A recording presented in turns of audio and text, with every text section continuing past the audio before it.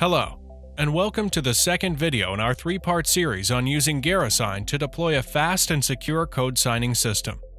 This video will show GaraSign's advanced code signing features for manual release signing, as well as automated signing for your CI/CD environment. Let's get started. In the first video, we showed how GaraSign uses HSMs, strong authentication, and client-side hashing to make code signing secure, fast, and easy.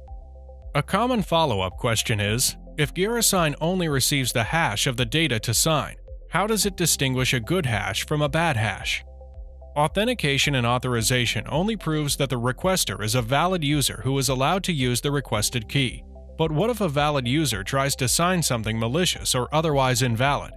This could be caused by a compromised build server, an insider threat, or a misconfigured system. GaraSign provides two solutions to this problem one manual and one automated.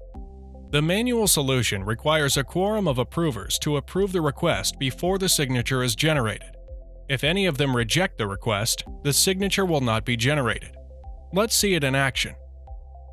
First, we change the keys policy so that the usage requires manual approvals.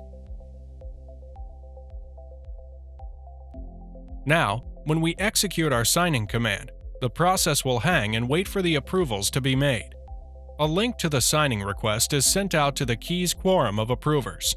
From here, we can reject or approve the request. Let's approve it. Now, the process completes successfully and the code is signed. For this demo, we are only requiring one approver, but GaraSign supports M of n quorums and even tiers of approvers, with each tier having its own quorum size.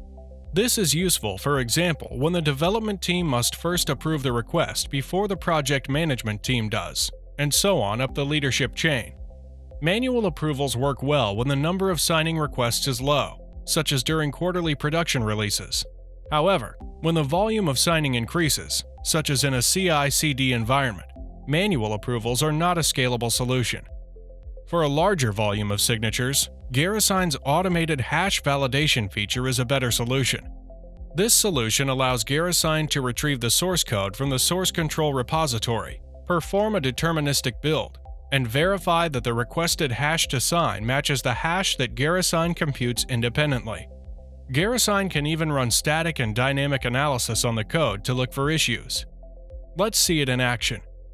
Let's change the keys policy to one that enforces automated hash validation. Now, when we run our signing command, it fails. This failure wasn't actually caused by the hash validation. It's because we haven't yet told GaraSign which source control repository to retrieve from. We give GaraSign the information it needs by setting some environment variables during signing, which this script does for us. Since this malicious binary does not match what is in the source code repository, when we request to sign, automated hash validation will occur and detect a problem.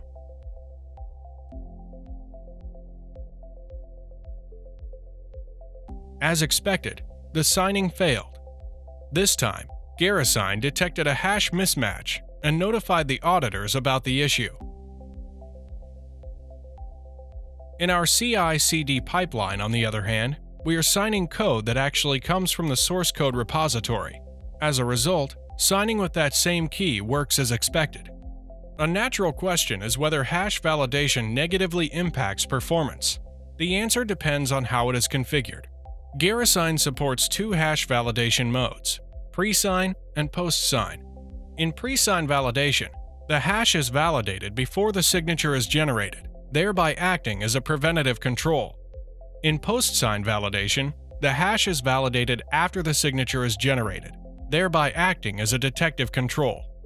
Up until now, we have been using pre-sign validation. Let's see what post-sign validation looks like. First, let's change the keys policy to require post-sign hash validation. This time, when we run the same script as before and attempt to sign code that does not match what is in the repository, it signs successfully. However, after a short period of time, we receive a notification telling us the hash that was signed did not match the hash of the code in the repository. The signature was already generated, but the mismatch was quickly detected. Post-sign hash validation is an excellent balance of speed and security for performance-sensitive environments, such as CI/CD pipelines. We hope you enjoyed this video on GaraSign's advanced code signing capabilities. Check out the next video in this series to learn how GaraSign can scan code for malware during signing and can even speed up the CI/CD pipeline through parallel processing. Thanks for watching.